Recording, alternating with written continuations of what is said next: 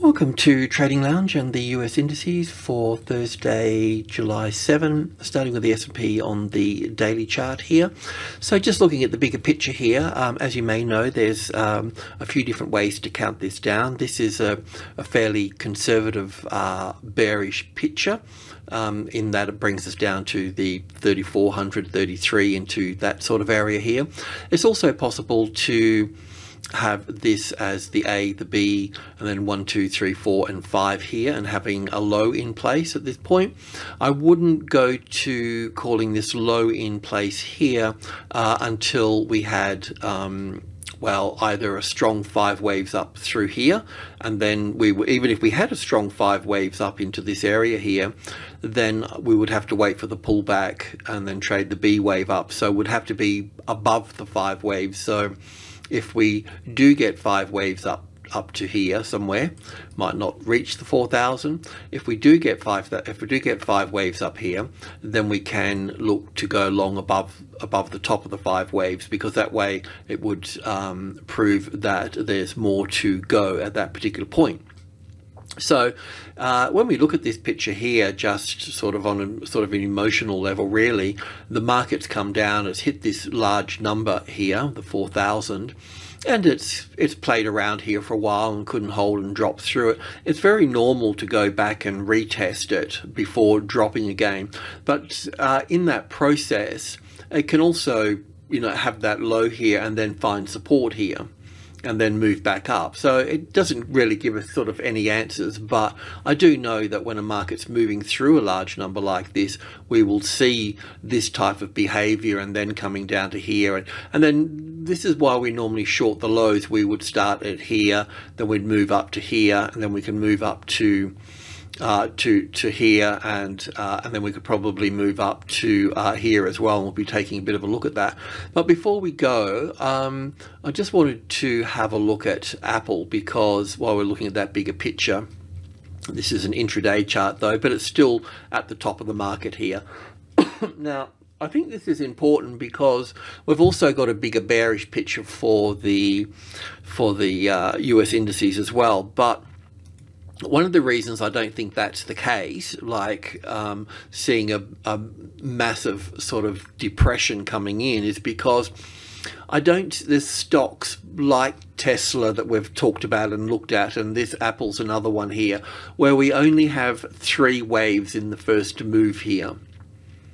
We don't have five waves here. If we had five waves here, then that's a possibility, but because it's in three waves, it's corrective and then we've got the A wave here and probably label that a WXY here as a B and then a nice C wave but a, an A and a B and a C. We don't have five waves here for this. So that means that this is corrective and it means that the rest of this will be corrective as well. So then the puzzle and the trick is to to solve that puzzle. So we know that we've got the A wave here, the A, B, and C for the B wave here. All that's pretty clear.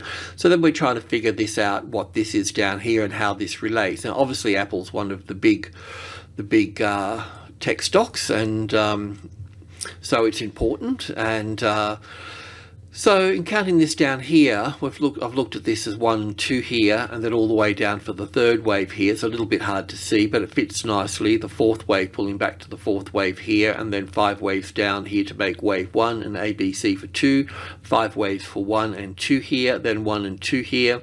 This is a little bit tricky here, but it's one and two in here, and then three to here, and four and five for the third wave, fourth wave, fifth wave for the third, the fourth and the fifth to make the third, and then the fourth over here, and then coming down. Now, uh, this here is an interesting little sort of area here as well because if we take wave 2 here, for example, and go down to wave 3 low here, the 38.2% retracement levels here, and the top of wave 4 is over here. So normally I would just take this top here and this space here and, and say that, well, that's the space that would be looking at for this wave 4 to pull back in anywhere in there is good, you know. And then we could also look at this too if we had this wrong because we're also looking at this as wave 1 to the downside uh, here, um, which we are looking at um, as an alternative count here. So this is the SPY here. So an, uh, an A and a B, and then one, two, three, four, and either wave five down here is the low, or wave one and two here, then one and two here, and three, four, five to finish off down here for this. So in that case, if we were looking at this as being wave one here and wave two here, then we can also look at this being from here, just roughly speaking, we can look at this here being the 61.8% area through here. So that's obviously um, an important area. And then also the 78.6 at the 147 would also be um, uh, important as well here for, for, for Apple. But this count here, you'd think that, well, you know, could we put that, what does that look like if we put that over the over the S&P here, you know, um, that means that we would need to put this wave 4 here, here, and this wave 3 over to here, and then call this wave 4 here. So that's possible. So if, let's just go for an example here, we've got this as wave one here and two here and one here and two here in this case and three, four, five. And in the bigger bearish picture, we've got this case as well. But what happens if it does push up here a little bit further? We'd also know too that that would be the 38.2% retracement level. And maybe we could extend this out and have this wave four sitting over here in line with Apple. So that would kind of make sense if that was there. And there's other stocks like this here as well. So I just wanted to present that today. and it's something that we could sort of work towards because what will happen if let's just assume for a moment that this is correct right and um, and then we, we we come up here a little bit further um, and then we just have five waves down and that's the bottom of the market well that bottom of the market here will be the bottom of the market over here won't it so we've got to bring them in together somehow. Also with this here as well, um, I don't know if I've got on the 1K tick. I'll just check. I'm not sure which chart I put it on. So uh, that's that was the sort of old count having wave four here and wave one and two, but just counting up here. We've still got more to go up. If I put this on 100 ticks, it will have the other count on here. So this is looking at it as an A wave, a B wave, and going up for a C wave here. So if I was counting this up as a C wave here, then, because this is important because we might get this with the Nasdaq and the S&P as well. So wave one here, two here, and we counted one, two, three, four, five for one and two, and then one and two, one, two, one, two, three, four, five for three, four, five for three, and four, and going up for five of three, and then we can have wave four here, or it could pull back to the, to the wave four of one lesser degree. I'm not sure how that will play out there, but then we've got wave three, four, and five here. Now, if I've made a mistake with this, well, then my mistake would be that wave five would be in here and would have just one more move to the upside. So the Nasdaq and the uh, S&P have got a situation where they can fail right here, right now. But when I look at Apple, we've got it, it does appear that um, unless because we've taken out the top here anyway so we've got to finish our five waves up here. So I think that we've got further to move up here to make wave C or 4 over here.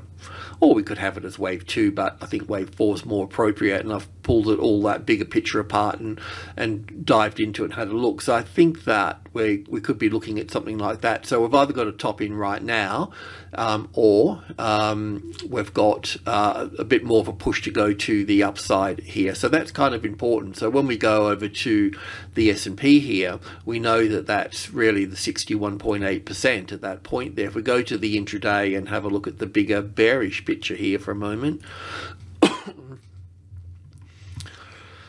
So the biggest bearish picture is 1 and 2 here, and then 1 and 2 here, and then down for 1 here and 2 here. So it's, you know, we're in, we're in the the third of the third of the third here, of the third, you know.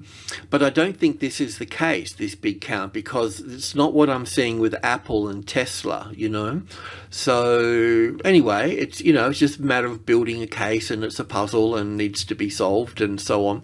So what we've been doing here is that um, even without being a really massive big bearish picture here, which it could be, but it just sort of not really sort of adding up uh, just a trend line through here. We can remove that. Um, so we looked at this here as wave one. It was pretty hard to get five waves up here. You know, it was you could kind of force it, I guess.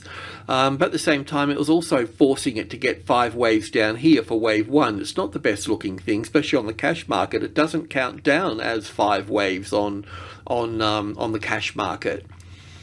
So it's a bit of a tricky one. I, I, I know that we're in a correction here. That that much I do know because this is this um, this counts as as corrective. I mean, like I said, you could force it to be five waves, but it's a, it's a bit tricky to do that. Um, it's also you know to call to call it uh, yeah it, it's it, it's yeah to call it five waves is. Um, it's a little bit tricky, um, but also calling this move down here um, you know, because you could call that five waves to be bullish and five waves down here to be bearish, but it's it's hard to get the five waves down here. You kind of got to bend the rules a little bit, you know. Uh, this move here um, appears corrective, but we could also have this as an A wave here, a B wave here, and a C wave here for for a B wave. So this all of this here could belong to this this move down rather than this move to the upside here. But one of the interesting things here though now is that um, just got to adjust an order. Sorry about that. Just got to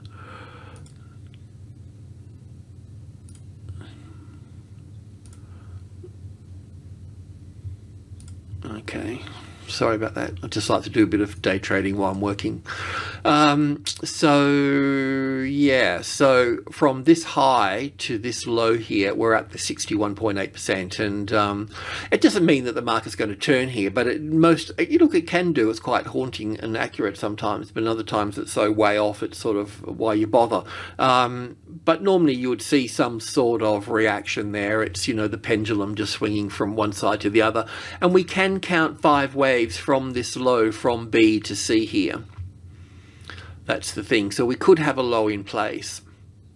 Now, the other thing that I wanted to talk about here is that uh, it's about the trading levels. So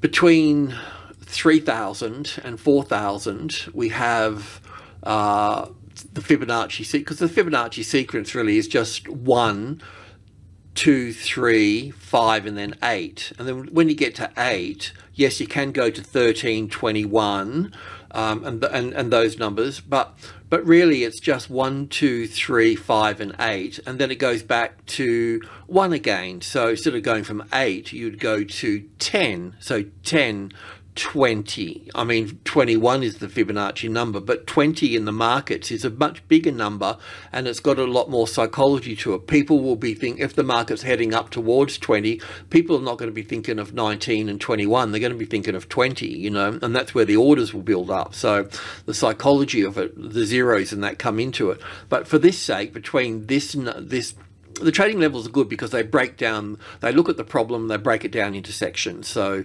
going from three to four here, there will be one, two, three, five, and eight. So we know that one, two, and three is group one. We know that if the market comes down here, it's going to bounce off that.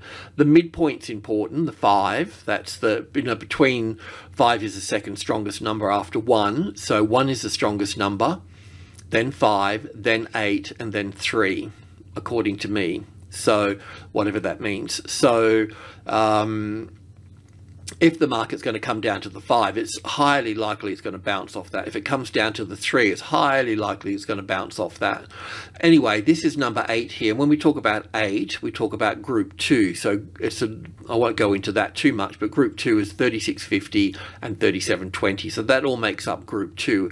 And um, the they're part of the Fibonacci numbers in, in, in a certain way. They're just sort of halves of things and so on. But you can see that, you know, the job of group two here, and then we go back up above four and we go one, two, three again, and then five. So this is the important bit here. All of this market at the moment is working, it's all about this number here. But when we work with this number, it's also about group one above and group two below. That's the swing range for this market. So yeah, while it's in that space, we need to be careful because once it finds this number here as the resistance, the 3650, then we're leaving that number. If we get a tested support on top of number three here, then we're leaving that number to the upside. So inside here, is where you can do all the damage, so to speak. Obviously, most people are day trading, so a lot of that doesn't sort of matter, but it kind of matters down here where we are at the moment with this group two here, because first of all, we know it's support. We got this low and we got this low here. So really what we can do here is we can look at the number eight here. And if we get the number eight as a retested uh, resistance, so if we look at the market just very simply like this here, there's a very simple thing, as the resistance to start from the low and come up, then we can look to get that first position here, do the same under here and the same under here as well. So that will get you, you know, three positions at that point and then it will be a bounce off the five and then you can short under the five and so on.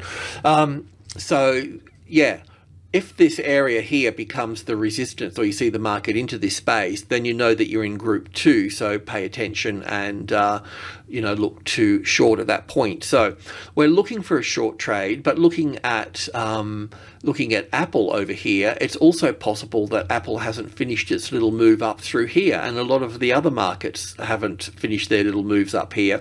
So we could be still going up at this point. Now, the thing is, is that this move from this low here up to that point there counts as five waves. So from B to C here, that's five waves at the 61.8%. That's the end of it. So what happens if, um, you know, if Apple's going to move up, are we going to get another little move up here somewhere?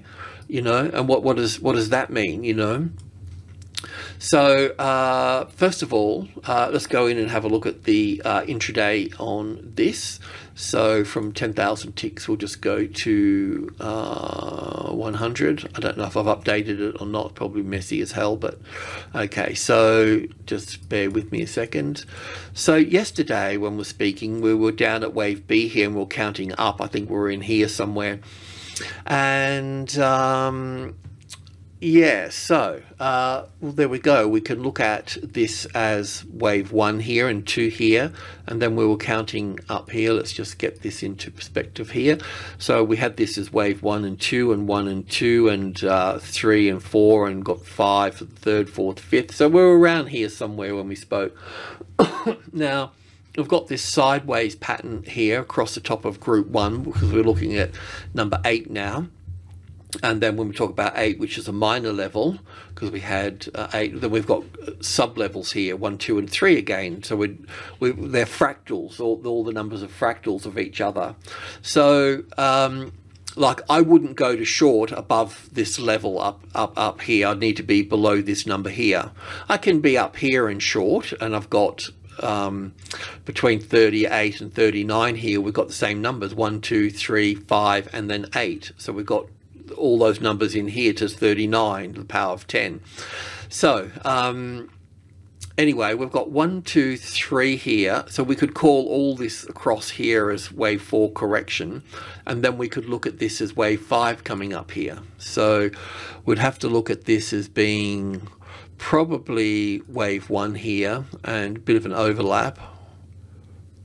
Wave two, I'll just check that there in a moment um, wave three here and wave four here. So we're pretty much sort of looking at the market being uh, done and dusted at this point. Let me just have a little look in there. So uh, a little bit rough. That's uh, between this wave one here. Obviously, this is the third wave here. There's some sort of fourth wave in, in here, that could be part of that as one and two, one, two, three, four, five for one and two, three, four, five here, third wave. So then we've got to get wave one and two out of here somewhere.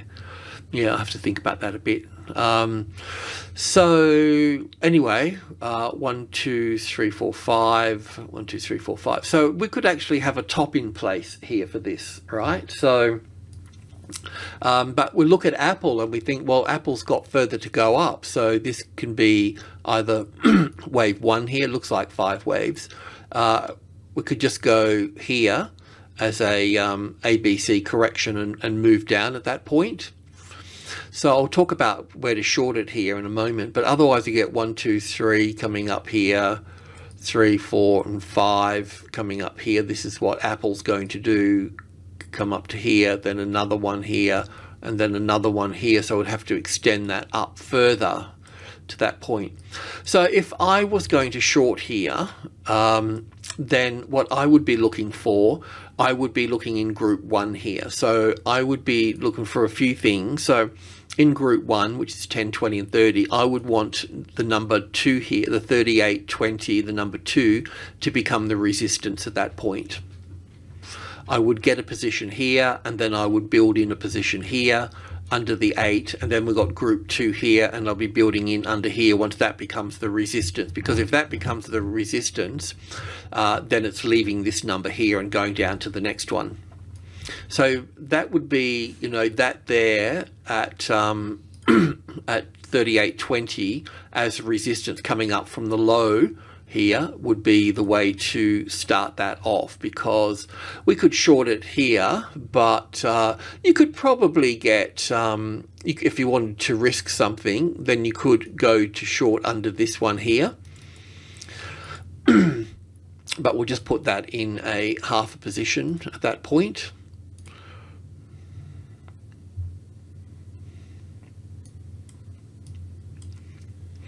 So, just to recap here, as far as the crow flies, this um, this here as down for one here, the A wave, the B wave, and the C wave, pulling back to the 61.8% is finished. But my problem is, is that Apple and some other stocks need to uh, push a little bit higher. So that means that um, this this whole structure in one way or another needs to be extended higher. I'm not sure how to do that. I don't know if I need to look at this as um, as wave one here, pulling back for wave two, and then three, four, five, something of that nature.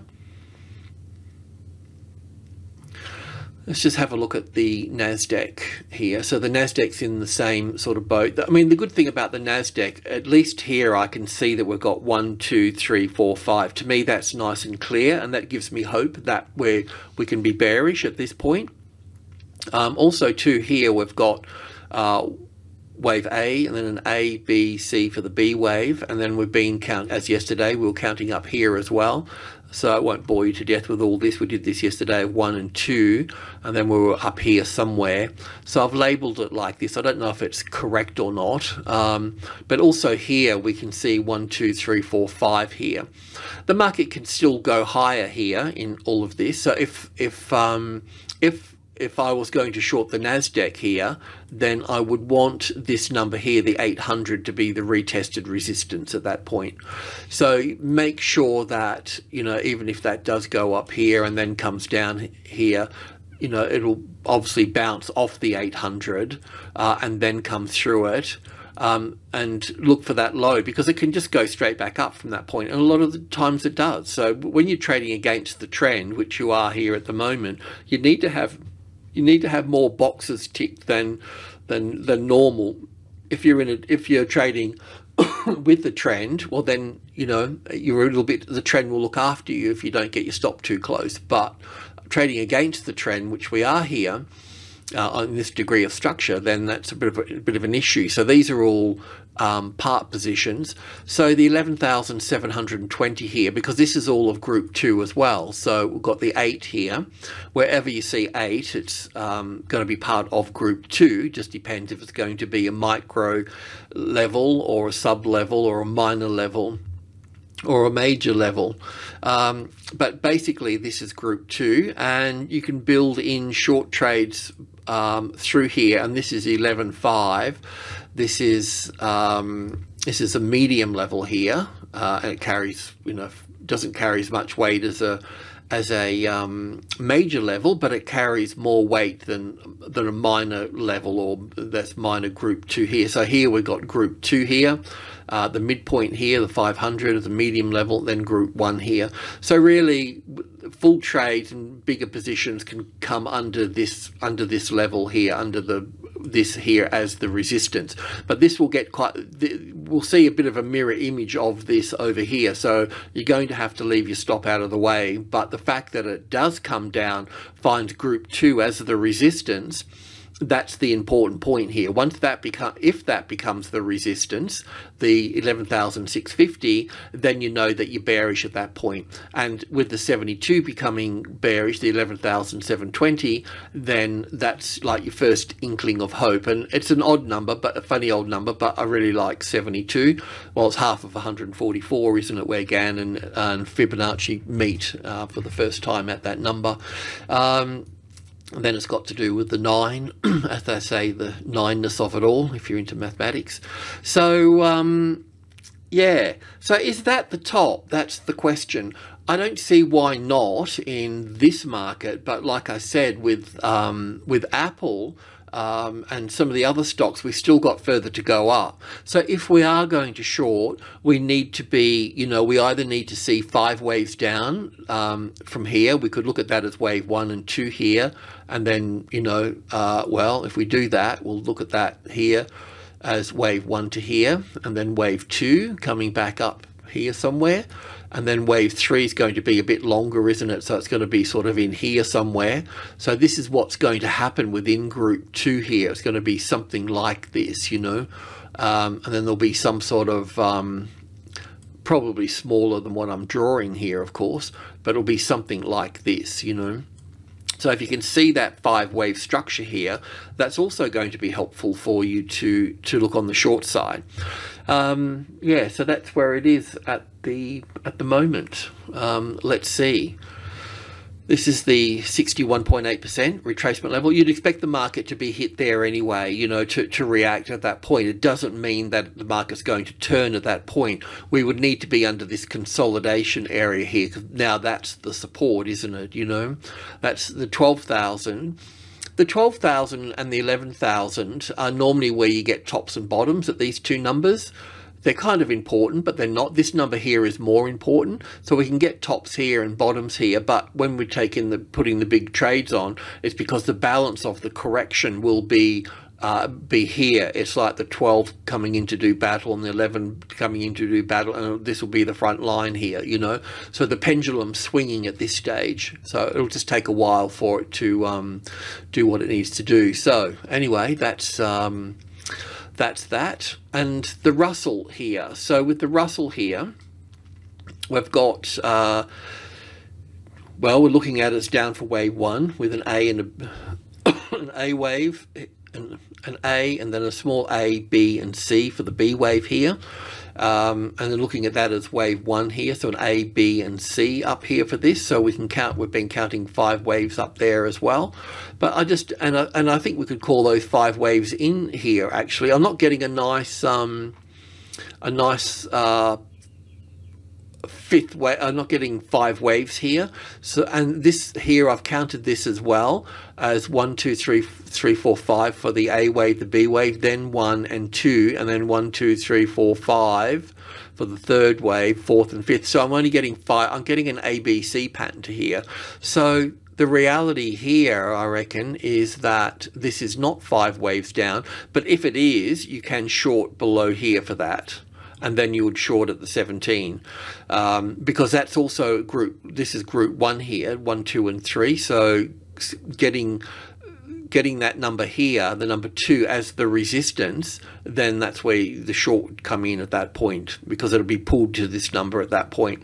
So this looks appears to be corrective here. So I may need to take the liberty of um, putting wave four here because I don't have a nice fifth wave up here. Yes, it made a high, but an A wave and then an A, B, and C. I still don't get that I still don't get, I don't get five waves in that move here. So then I need to look over here as one, two, three, four, and five, even more so building up, uh, moving up here further for this. So I think that that's where that is at the moment. So we're just taking precautions and looking at everything. So First of all, I don't have five waves up here. I don't have five waves down through to here.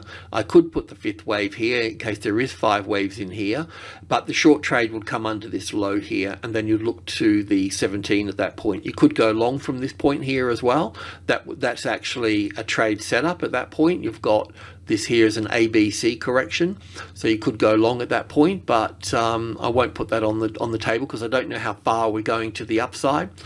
Um, you know, and this is um, this does give us a five wave move down here, a bit short on this one, but this one's a bit longer than that one. That's okay. But once again, we could look at this here as an A wave, a B wave, and a C wave here for this. You know as a corrective move and then looking at this as more of a bullish move to the upside. So that's possible. So anyway we're getting there. We're, we're, getting there. We're not we're not there we're not there yet. I can still see that the asian markets need to move up in the next session. So um, look maybe we're looking at friday uh, for short trades again we'll see how how that plays out Alrighty, I'm going to leave it at that. But just to just to recap um, with the with the Nasdaq, it is possible to have the top in here, right? I don't think it's the case because I still see Apple needs to go up. But if it is the top here, then the 11.8 as the resistance would be the first position to the downside at that point, and then under the 72 here. And it's the same with the S&P 500. We can call a top in here for this. The move down through here is not the best five-way structure. You could probably make it so. Um, but in this case, we can look to go short uh, put one position under this a small half a position here but the other position really needs to go under 38 20 as the resistance. And really what you're trying to do here is you you you understand that you know this all of this here all of this here right is all about this number here so having that number on your side to the short side is that's when you're going to feel safe. You won't feel safe otherwise. So if you don't feel safe, then these positions here need to be smaller. So yeah, look, that's it. That top can be in place, but it does appear Apple and some other stocks can move a little bit uh, higher. So we'll prepare for both. Alrighty, I'm going to leave it at that. Thanks for tuning in. Cheers.